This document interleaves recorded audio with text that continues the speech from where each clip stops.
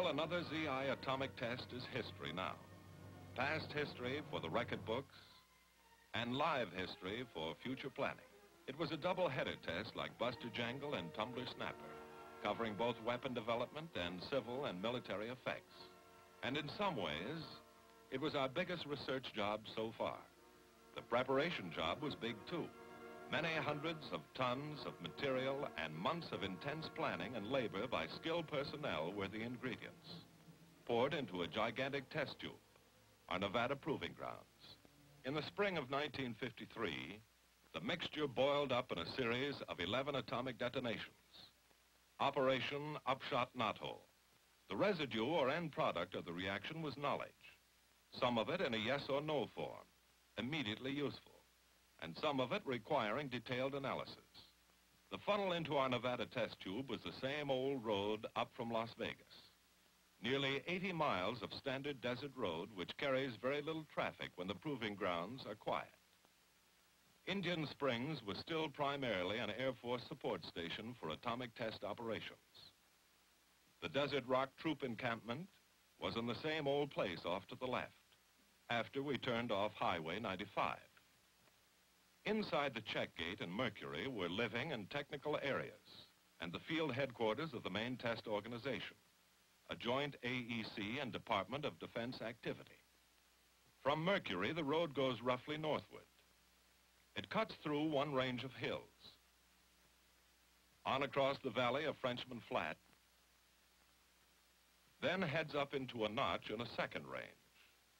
In this notch is the CP, the control point, the real nerve center and communications hub of the test site. This was the test manager's forward headquarters for the series, and primarily the center of operations for the weapons development program, Upshot. Looking out from the control point, an observer can see both of the major blast areas. Frenchman Flat, a dry lake bed, is still visible back in the valley we just crossed, though the actual ground zero point can't be seen. Yucca Flat lies on northward, in the next valley beyond the control point.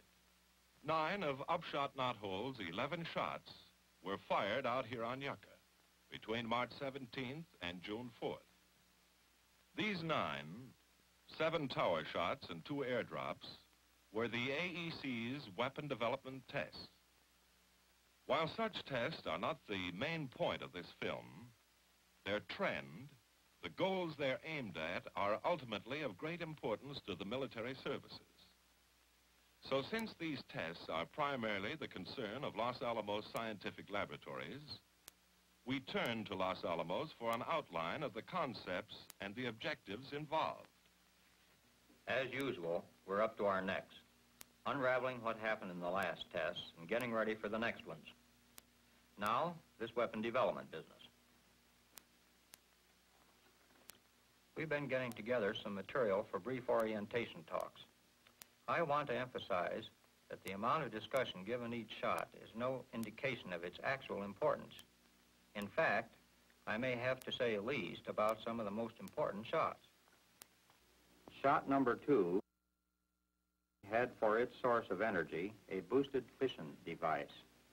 It was part of a development that we think will eventually give us a weapon of approximately 30 inches in diameter three to 4,000 pounds weight and a yield in the neighborhood of 500 kilotons, around 35 times that of the Hiroshima bomb.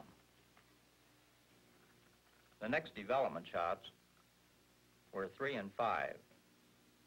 Shot number four, it was the first airdrop on Upshot and was detonated at approximately 6,000 feet, the highest burst of any gadget we've ever fired.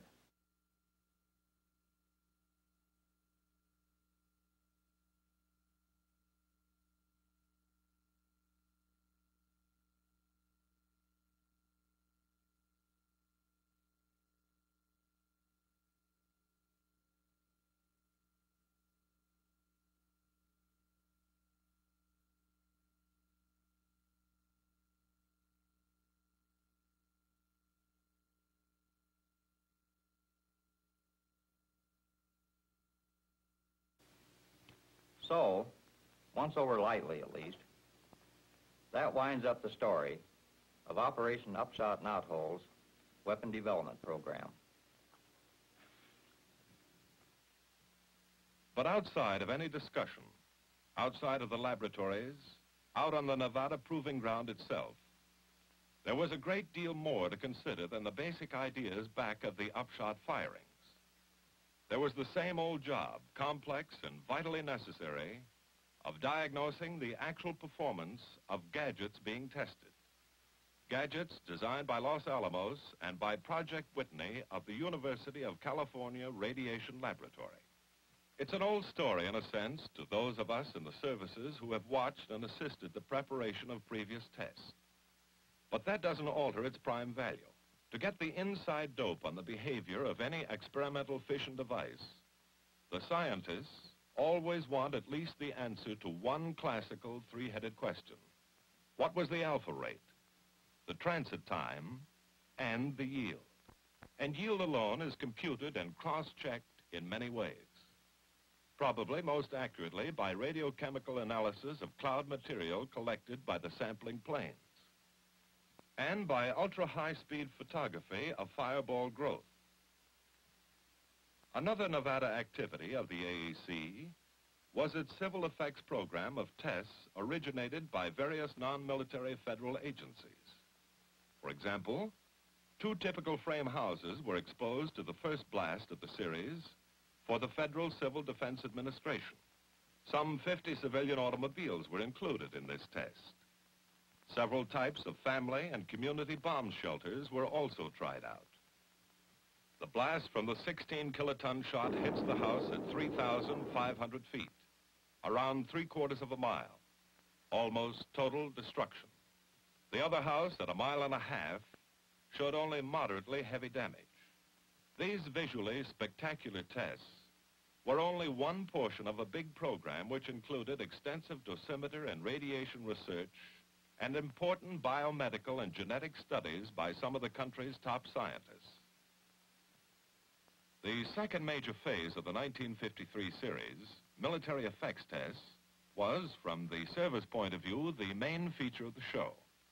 All early planning and coordination of these tests was handled by the Directorate of Weapons Effects Tests, set up for this purpose by Field Command, Armed Forces Special Weapons Project. In the operational phase, Personnel of this directorate were integrated into the main test organization. There, they continued to be responsible for all military tests and for the important military support given to the AEC's programs. Such support, for example, as the Air Weather Service forecasts, on which are based the fire or no fire decisions for each shot.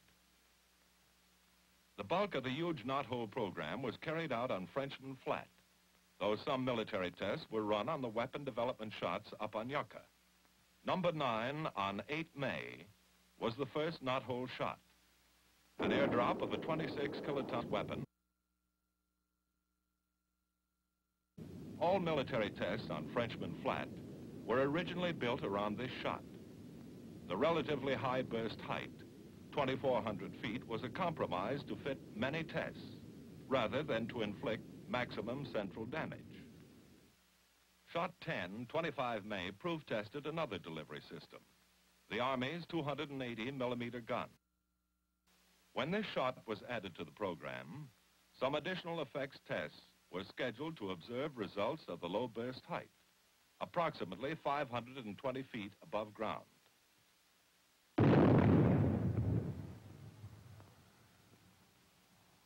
Since no gun-type assembly had been detonated since the Hiroshima bomb, the weapons development scientists had on this shot their first opportunity to study the nucleonic behavior and fireball configuration of such a device.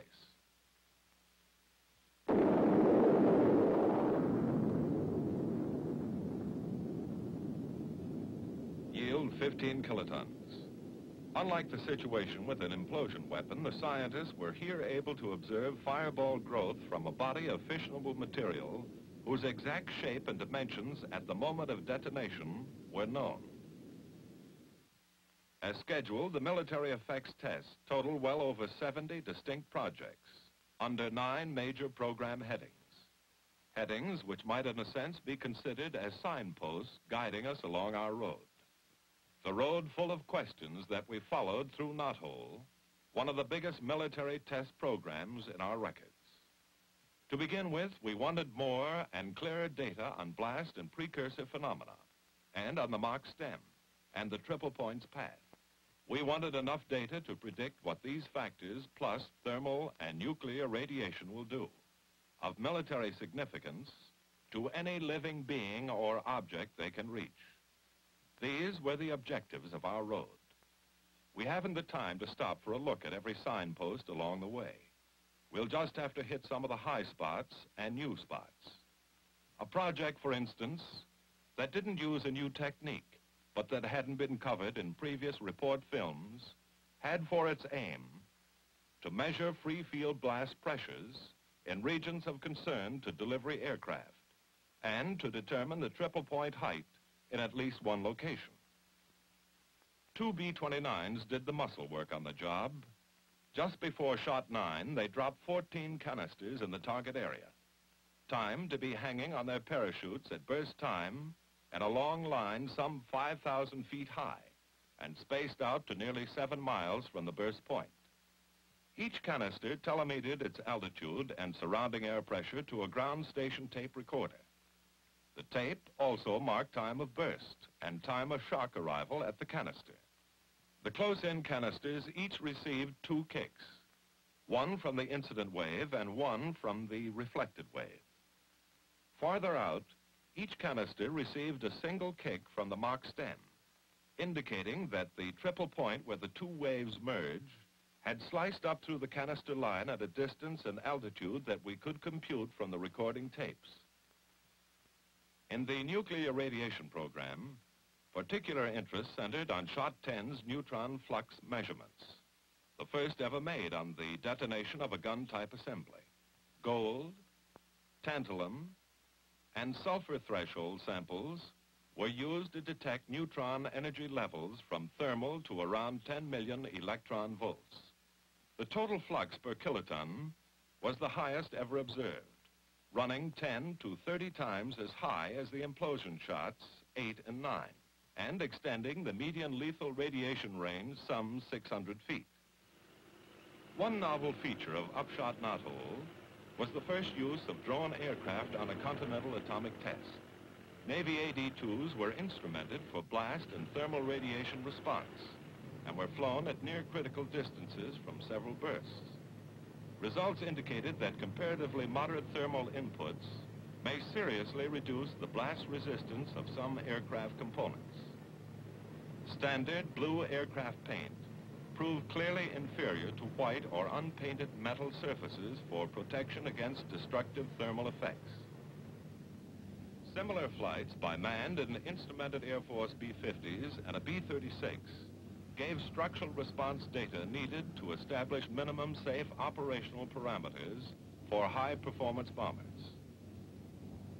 Other bombers from the Strategic Air Command flew in with the drop plane, testing techniques for obtaining yield, height of burst, and ground zero location. The three essential parameters of IBDA, Indirect Bomb Damage Assessment. On the biomedical program, Air Force QF-80 drones, instrumented to measure gamma radiation and with test animals aboard, were flown through atomic clouds at 30,000 and 32,000 feet. They were each controlled by primary and secondary motherships, and manned fighter escorts stood by to shoot down any drone that malfunctioned. These tests indicated that personnel of pressurized aircraft passing at 400 knots through a cloud at least four minutes old from a weapon of less than 30 KT would receive an external dosage of less than 50 Roentgens with a negligible respiratory hazard. On the thermal effects program, one project concerned parked aircraft and aircraft components, an extension of previous tests. New data were obtained on structural weakening from thermal inputs too low to cause visible damage. Cloth thermal shields were proved to have considerable value in reducing damage to parked aircraft. Some aircraft fabrics were destroyed at levels as low as two calories per square centimeter, while magnesium sheet and foil-covered panels were undamaged by 20 calories. It was also found that strong tie-downs may protect aircraft parked nose on to the blast from much of the damage that will occur if the plane is unmoored and free to lift and roll. But for side-on or tail-on orientations, the tie-downs may actually increase damage. Another important section of the thermal program was a study dealing with normal city vulnerability to fire started by atomic weapons. Three cubicle houses, 7,700 feet from zero, were erected for one phase of this study concerned with exterior kindling fuels. The first house has a clean, safe yard, but dry rot is working in the unpainted siding. No rot here, but toys, weeds, and trash against the fence. A clean yard, painted fence, and maintained siding. Number nine goes off. 13 calories per square centimeter. Overpressure, three and a half pounds per square inch. Time sequence photography shows the results. Destruction on the right from the yard trash which set fire to the fence. On the left, rotted wood in the siding was the ignition point. Sound painted wood and a clean yard allow the center house to survive. The fire hazards in these projects are not unusual either. Six big American cities were inspected to ensure that representative conditions were tested. Conditions which suggest that a bomb of even this nominal power could start more than 100,000 fires over 25 square miles of urban area. Our next thermal project, run on Shot 10, required a new instrument line east from ground zero, roughly opposite the main blast line equipped with thermal recording devices and with blast gauges at zero and 10-foot heights. The first phase, designed to find out how much protection white smoke would give against thermal flash, employed a standard oil fog over a portion of the new line. In theory, this smoke would scatter and reflect fireball heat. This was a small-scale experiment, but evaluations have indicated that attenuation of radiant energy approached 99%. To explain the second phase of the project, employing black smoke, we must go back to Tumbler Snapper. On the low-altitude burst of Tumbler 4, high-speed cameras recorded a phenomenon never noticed before, a shock wave preceding the main shock front. Here it is again. This precursor wave, as it was called, registers on blast line instruments with a pressure time graph of this type, showing a considerable climb and duration before arrival of the main shock front. A normal shock wave with no precursor is quite different, hitting the instruments with an instantaneous pressure jump. The mechanics of precursor development appear to be these. A weapon bursts, and thermal radiation creates an intensely hot ground layer of air a layer filled with dust from what is called the popcorning of the hot ground. Milliseconds after the thermal flash, the incident shock wave reaches the ground and expands, trailed outward by the usual reflected wave. Then a new wave, the precursor, begins to build out from the base of the incident wave, racing ahead through the heated air layer. An intense dust cloud follows closely, rising initially to about 50 feet and later to several hundred feet. One important effect of the precursor is to lower peak static pressures without a corresponding reduction of dynamic or wind pressures. The precursor builds steadily in height, but does not seem to inhibit formation of a Mach stem, though exact dimensional relationships are uncertain. Eventually, running into cooler regions, the precursor slows and is overtaken by the Mach stem. From that point on, the blast wave structure is normal again. It should be emphasized that a precursor can form only if the ground air layer is sufficiently hot. So if height of burst is increased, yield must be increased. Without the yield increase, the ground air will be too cool for precursor formation, as was the case on shot 9, our first effect shot, 26 KT at 2,400 feet. Shot 10, 15 KT at only 500 feet, developed a strong precursor. It was on this shot that we ran the smoke experiment. A carbon black smoke was established over nearly a mile of the new instrument line. we expected that the top of the black smoke would absorb thermal energy and produce an extra hot layer well above ground, possibly generating a controlled super precursor at that height, or in some other manner reducing blast effects on ground targets. The experiment was handicapped to an unknown degree by wind billowing the smoke up to three or four hundred feet, modifying the planned geometry. As it happened, the ground level precursor which developed under the smoke was stronger than the one in the clear, although it extended only half as far before decaying to a conventional blast form. This test was not conclusive as to the effects of a heat-absorbing black smoke on blast. A further precursor study was set up to determine whether ground surface heating from thermal flash could generate a shock wave before arrival of the normal shock front. Panels 10 feet square faced with variously heat-absorptive and reactive materials, were tilted for maximum exposure to the thermal radiation of the two effect shots. Post-shot study of the gauge records showed no clear evidence of thermally induced shock waves. We come now to the biggest program, the primary reason for shot 9, the first effect shot. The biggest program in sheer volume in theoretical predictions confirmed or refuted, and in the mass of empirical knowledge gained. 28 separate projects came under this heading, beginning with basic measurements on simple cylinders and rectangular concrete slab structures in a number of orientations. These passive targets, heavily instrumented, were not designed for response by displacement, but only to record shielding and loading factors at various heights and aspects. The findings of this important job can now be extrapolated for prediction of blast loading on a great variety of targets without direct testing. We begin to bump into the precursor again. A truss bridge section 2,300 feet from zero. Shot 9, 26 KT, 2,400 feet high, produced a small permanent set in the top chord with an overpressure of 11.5 pounds per square inch but the Mach stem had not formed to reach the height of the bridge. Eight and a half pounds did this on shot 10, 500 feet high, 15 kiloton yield, with a precursor blast wave and a Mach stem already higher than the bridge. Apparently, for wind or drag-sensitive targets of this type, a low burst is more damaging than a high burst at similar peak pressures. A test of Army prefab Bailey bridges. Shot 9, 4,100 feet from zero. Essentially undamaged, the bridge slid back on its piers as expected, moving 43 inches from a peak pressure of 8 pounds. 9 pounds from shot 10 hits another bridge. Movement out of all proportion to that caused by almost the same static pressure on the first shot.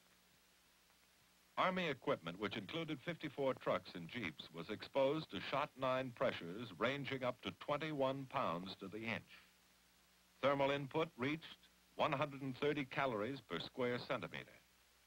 Damage was generally moderate, as expected. All but two vehicles, one with burned tires and one with a missile-punctured radiator, could be driven away under their own power. For shot 10, Army tanks, artillery, and 22 trucks were exposed to pressures expected to range from 3 to 55 psi.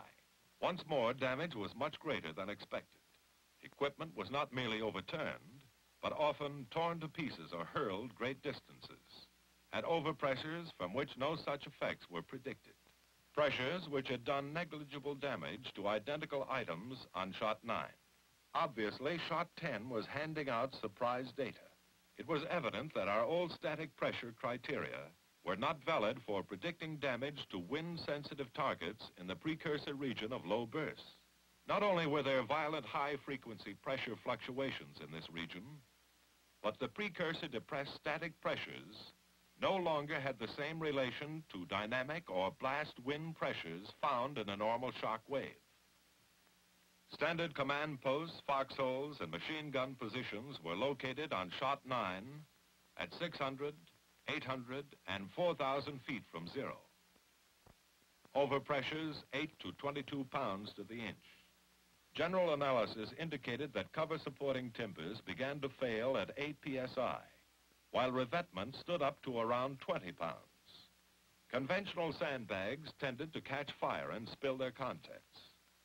One interesting finding was that foxhole covers can greatly reduce inside pressures, which may otherwise build to twice the outside pressure. Field hospital installations were displayed for Shot 9 at ranges around 4,400, 9,000, and 15,000 feet in both above ground and dug-in positions at each location. Radiology sections, operating rooms, pharmacy tents, all complete and ready for use. 38 calories per square centimeter.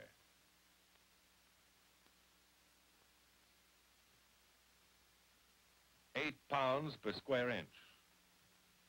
Operationally, a complete ruin, although a few items of equipment were salvageable. Missile hazard was unquestionably heavy. The 15,000-foot installation, around one and one-quarter pounds pressure. Damage limited to collapse of the above-ground tents. A significant finding of these tests was that considerable protection to personnel and equipment would be afforded by revetting field medical installations. Six Marine LVTs, landing vehicles tracked, at distances from 800 to 4,500 feet from zero, with pressures reaching 22 psi, 2,400 feet, overpressure 11 pounds. Damage was light on all vehicles. On shot 10, the same vehicles varied from 1,000 to 3,450 feet from zero, pressures running up to 47 pounds. Shot 10 damage was again unexpectedly heavy as compared with Shot 9, with one vehicle destroyed and three severely damaged in the precursor region, which on this shot extends out to around a half mile from ground zero. These tests suggest that normal shock waves from high bursts will damage LVTs only moderately up to 22 psi, while low bursts will do severe damage above 12 and a half pounds. Curtain wall panels on a series of concrete test cells, some with window openings, some without. The panels were constructed of various masonry materials such as brick, cinder block, clay tile, and combinations of these materials. Similar variety went into roofs and interior partitions. On shot nine, four and a half pounds overpressure does this. 6,700 feet from zero. Seven pounds here. 4,400 feet range. Unreinforced brick stood up fairly well, though cinder block and transite shattered. Walls with 20% window opening showed much greater blast resistance than blank walls, though damage to interior partitions was high. Three frame structures with windows and skylights containing various types of glass and plastic glazings were set up at 7,600, 12,500, and 20,000 feet from shot 9. Pressures were 4 psi or lower. A few conclusions that can be drawn now are that quarter-inch clear plastic shattered least of the material tested. Quarter-inch wire mesh was the largest mesh effective in reducing interior missile hazard. Exterior jalousies were worthless, and explosion hardware has very limited usefulness and may even be disadvantageous. Signal Corps placed radial and transverse pole lines, underground wires, and aluminum towers at different distances to test damage effects and determine time required to restore communication facilities.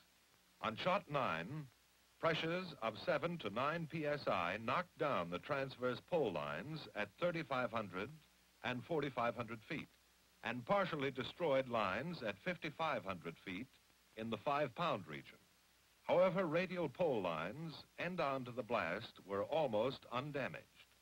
Similarly, towers at 3,400 and 4,400 feet were knocked down, and the one at 5,400 feet heavily damaged. At 6,400 feet, the top section of this 240-foot tower was made unsafe by 4.5 psi. Shot 10 damage to these installations was much heavier. The blast winds destroyed even the radial pole line to 2,500 feet, with static pressures by which it was undamaged on shot 9.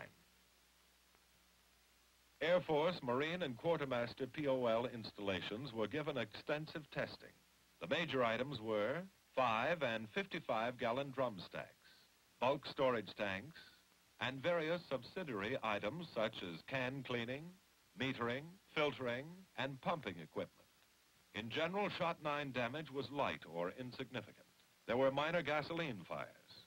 Drum and can stacks were scattered slightly in the maximum pressure areas, around 16 psi. Two collapsible 900-gallon tanks were ruptured by 11 pounds at 2,600 feet. On Shot 10, results were unexpectedly violent. All stacks disintegrated with cans and drums thrown hundreds of feet and left flattened or badly crushed. All marine fuel handling equipment was destroyed except one collapsible tank. Almost complete destruction occurred at better than 2,000 feet, at the same pressures that did trivial damage on Shot 9. A study of tactical importance. 145 ponderosa pines set in concrete approximately 6,400 feet from shot nine's zero. Instrumentation was thorough. A few major types being pressure gauges at three heights, time recording anemometers, pitot-type dynamic pressure detectors, and snubber wire arrangements to measure deflections. Pendulums were substituted for the lollipops of former operations to provide mechanical simulation of tree response. As on many of these projects, camera stations were set up to provide high-speed motion picture coverage of blast effects. Thermal input, 18 calories per square centimeter, resulting in only mild char on tree trunks, since the normal ground litter that will ignite at around 3 calories was lacking. Static pressures around 4 psi. Post-blast survey indicated that approximately 20% of the trees were broken and the missile hazard from falling trunks and limbs would be substantial. There was scant reduction of static pressure inside the stand, but a 20 to 40% reduction of dynamic or drag pressures. Thermal shielding proved excellent, with negligible penetration beyond the fourth row of trees. 16 items of Army rolling stock were exposed on shot 10 only.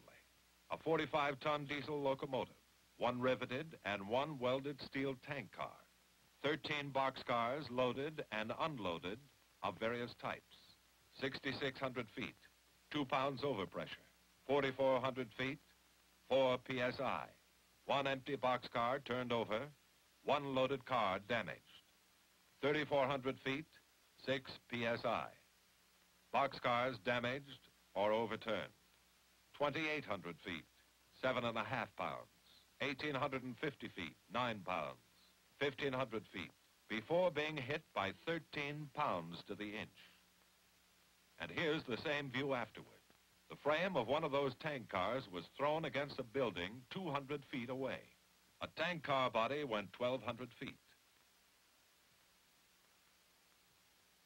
The whys and hows of these excessive damage effects at static pressure levels where no such results were anticipated will require further study, as will the mechanics of precursor development over surfaces less suited to the development of heated ground air than the Nevada desert.